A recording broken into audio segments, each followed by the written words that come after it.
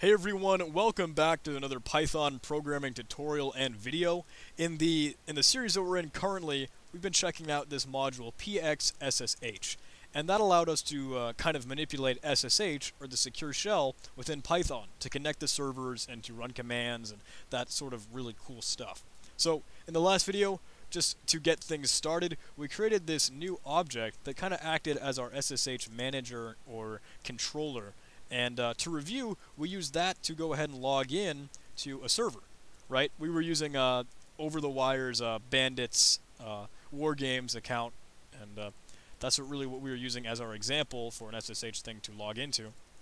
So their user was Bandit0, and the password was also Bandit0. So once we were able to log in, it returned true for us, which means that we got in successfully. When we tried to log out, we were able to log out, of course, but when we tried to log back in, it gives us this error. And we were like, what? What's going on? Now, I wanted to use this as a segue and a transition to talk about the options and uh, variables and other attributes and properties that come with this S object, or our uh, SSH kind of controller and object manager. So, it's telling us here that the self.pid, or self being, of course, S, the object that we just created, its variable PID it's got to be set to none for us to be able to log in. So here's an interesting thing. Once we create this object, obviously that creates the s.pid variable and property. Once we log in, that's going to be set to something other than none. When we log in, it has to equal none because, I mean, it was just created, right? Once we log into the server, we've got a process ID for our SSH program, and now it's no longer none. Once we log out, for some reason, whatever reason, probably because we can only have one session, one secure shell session with our object at a time, but whatever the case may be, it's not reset to none. We could try and reset it to none. That might work for us, and then we could log in again. I've had some trouble with that, so I'm not going to take that route. But of course, another object, another uh, option is to just reinitialize the object. Right? So now when I check out self.pid, I'm not going to be returned anything because it's equal to none. So I can go ahead and log in, right? Without a problem. Sweet.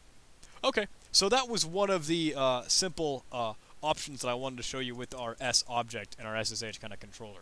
You'll notice if you just type in your dot selector and then check out, uh, you know, control space to kind of autocomplete, you can see this big long list of all the kind of cool stuff that this module and uh, object can offer you. So I want to go through some of those. Now, before I get into a little bit more though, I do want to show off how the login function works in PXSSH.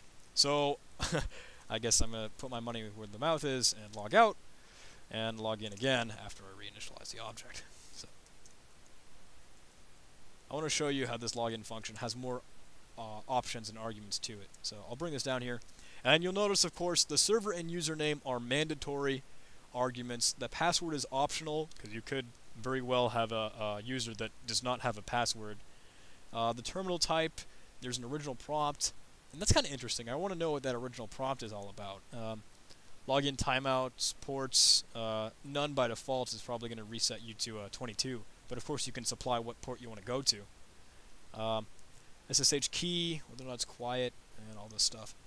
So the description here it gives is of course, this logs the user into the given server, and it uses the original prompt variable in the argument to try and find the prompt right after login. When it finds the prompt, it immediately tries to uh, reset the prompt to something more easily matched. what does that mean, right?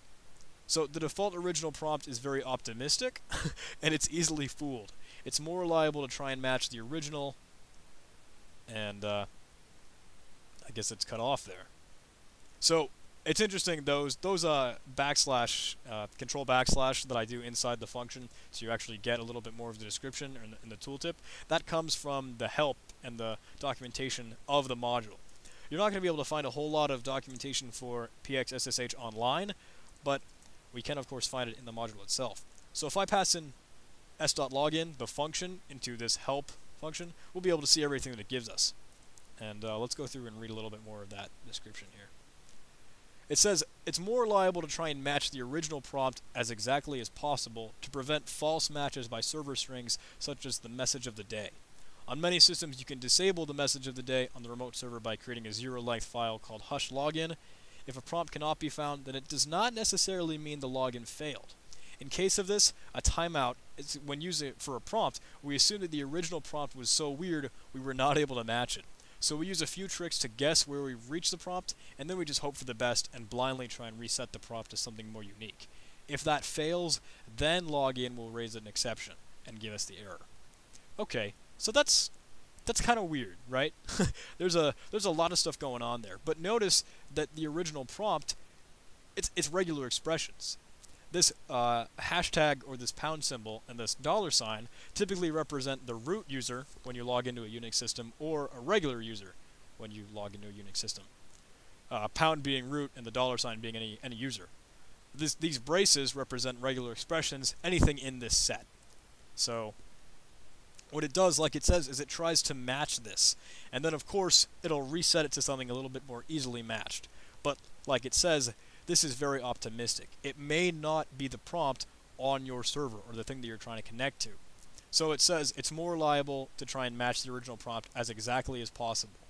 Now, if you're trying to log into a server you've never been on before, obviously this is going to be hard to do. But keep in mind this is all about pexpect.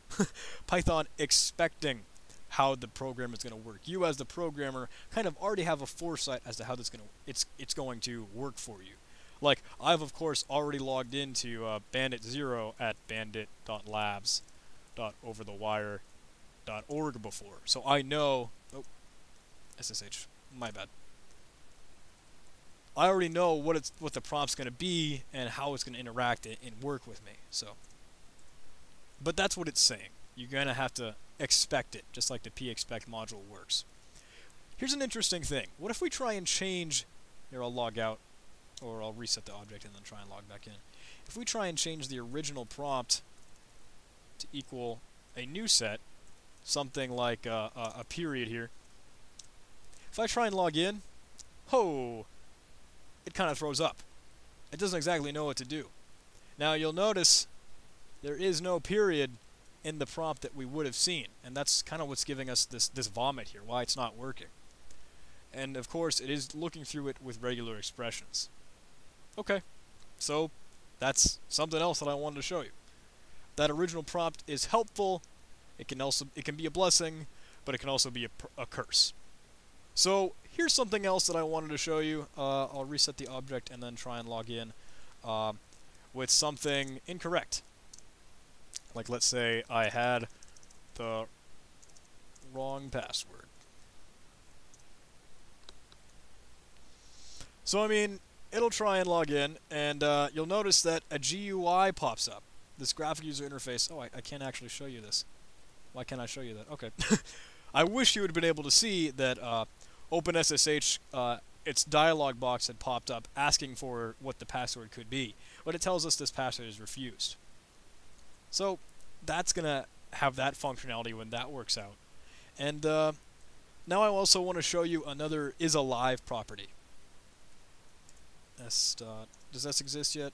Let's, we'll just reinitialize the object, log in with the correct password this time. Actually, before I do that, I'll show you is alive now. If I run it, is alive is false because we haven't connected to anything. You'll notice that uh, this description, here, I'll bring it back up for you. It tells us this test if the child process is running or not, and it's non-blocking. So you'll pretty immediately be able to tell you whether or not you're alive or you're connected or not. If I go ahead and log in, if it lets me log in, log in with the correct password,